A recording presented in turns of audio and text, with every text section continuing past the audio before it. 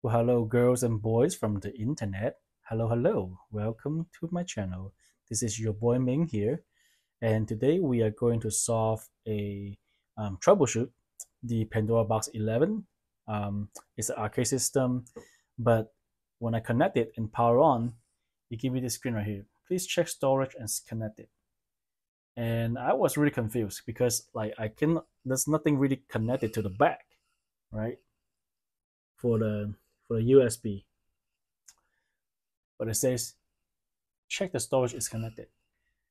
So what happened is that it's actually inside the box.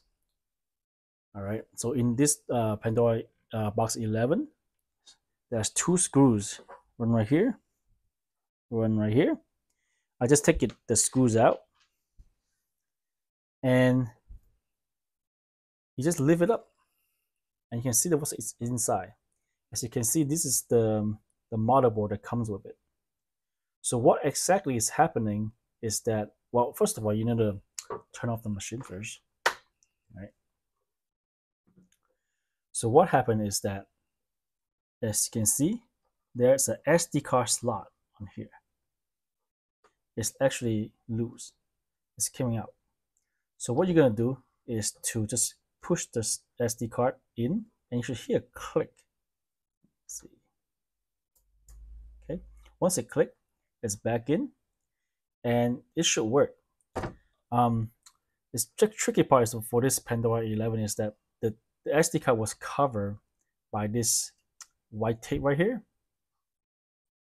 You just take the, the white tape off, just peel it off, and you can see the SD card as such.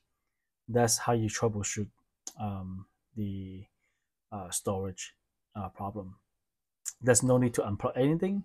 Just um, turn the power off. There's no need to mess with this.